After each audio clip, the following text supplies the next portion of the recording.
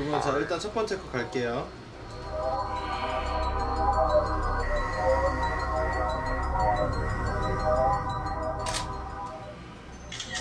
귀신 좀 나와요.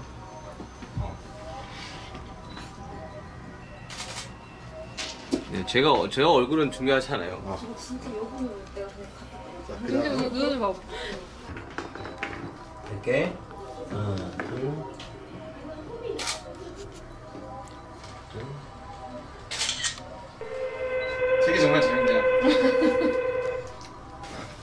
좋아.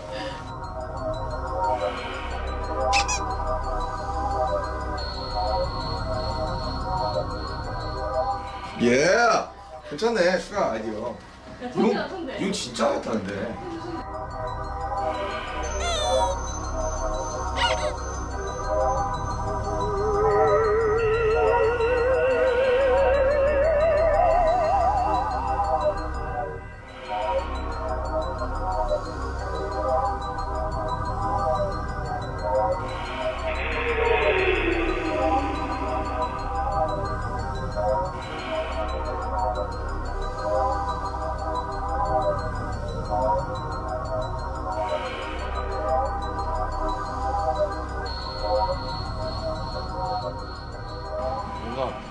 윤경이 아이디어를 적극적으로 내서 하니까 좋네요.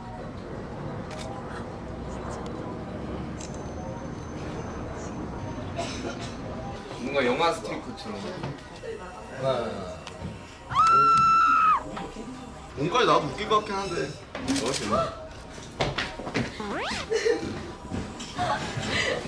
재밌는데. 지켰으면 좋겠어. 슈가한테 힘들어요.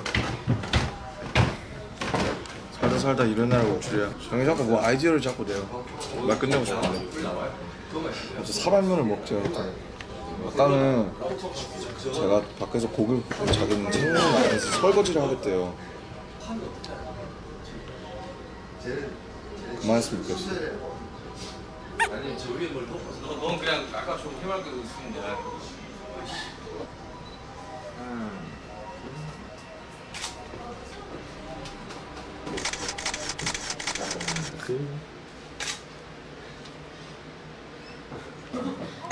쉬려고.